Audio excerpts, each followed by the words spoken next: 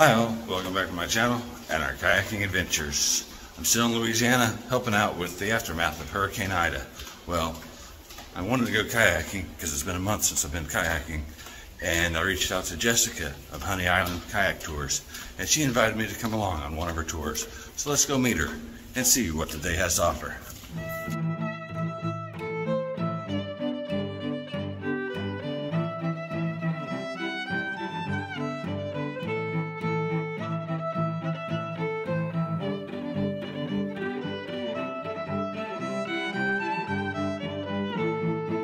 As some of you know, in October and November, I was deployed with FEMA to assist survivors from Hurricane Ida. Hurricane Ida was a Category 4 hurricane which destroyed parts of Louisiana when it made landfall August 29, 2021.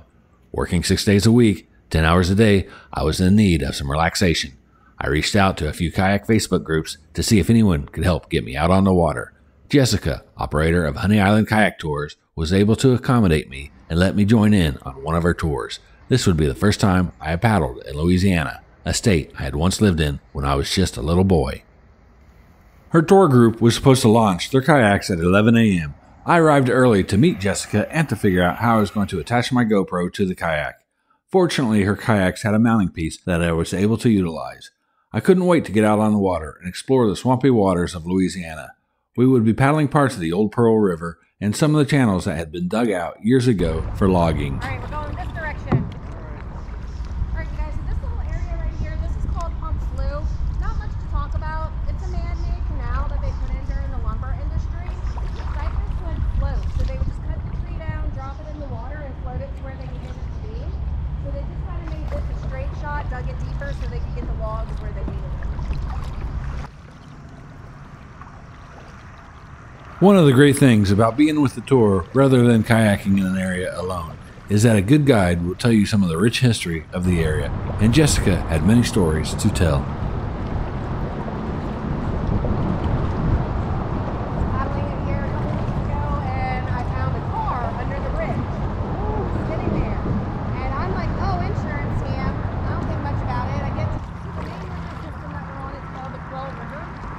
It is its own watershed, which means it does not connect to any other river. It is its own river.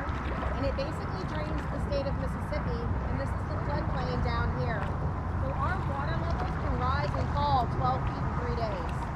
Two weeks ago, we were paddling over the tops of the picnic tables. You couldn't even tell they were there. Oh, wow. As we left the channel and entered part of the Old Pearl River, you could see some of the various high water marks on the bridge. This was going to certainly be an interesting area.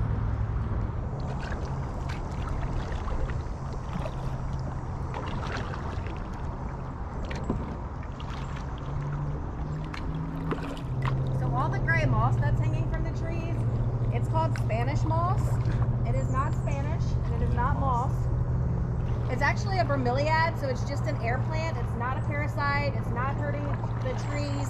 And its closest relative is the is a tropical fruit that we eat all the time. If you guys want to take a guess, it is a pineapple.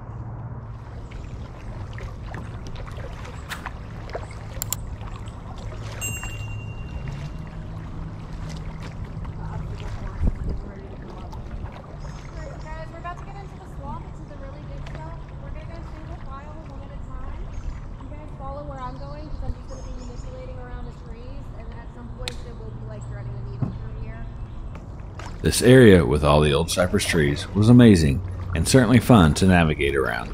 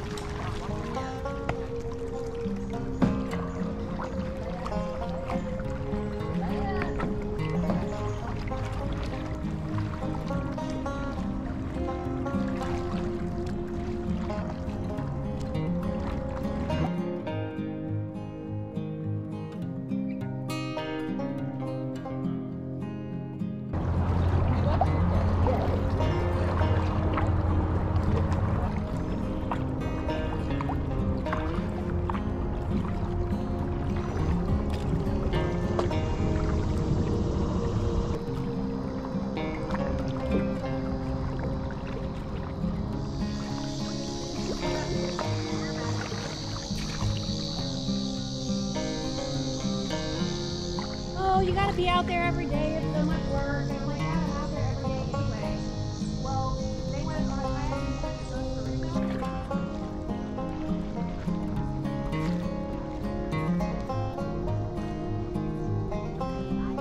The outside of that house though doesn't look like much, but the inside is gorgeous.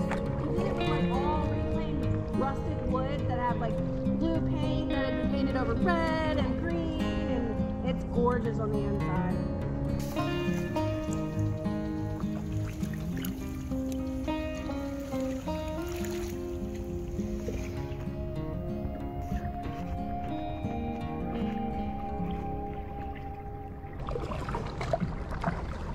As we paddled the area, I kept my eyes out in hopes to see an alligator. However, there would be no gator found on this adventure.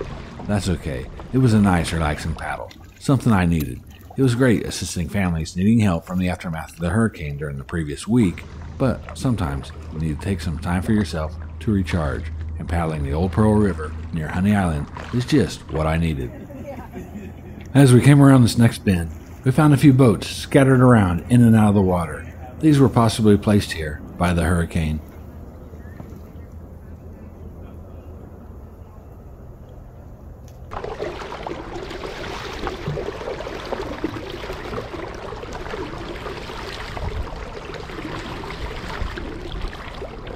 A little bit of a current. I was checking out that other boat that there's a sunken one too. Yeah, there's actually seven. Seven of them. Yeah. And when she, instead of stepping where he stepped to get out, she stepped right up and went straight down in between all this like rush that was like on the. Eh, Y'all, when we get back to the bar, we're gonna have to dock on the concrete. So don't ram it. Let me help you out. That way, we're not dragging the kayaks on the concrete.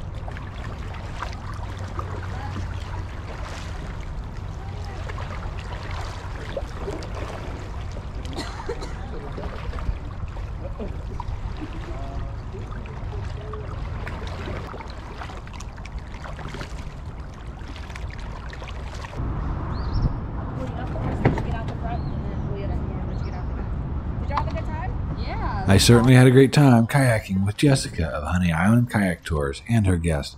I was appreciative of the chance to get out on the water and explore some of the swamps of Louisiana. I hope you enjoyed this video. If so, click that like button. If you're new to this channel or a longtime follower who has not yet subscribed, consider subscribing. Let's get me up to that 1,000 subscriber goal. I look forward to visiting Louisiana sometime in the future with Miss Kayak 7 Seas so she too can add a new state to her kayaking adventures. Until the next time, hope to see you out on the water someday.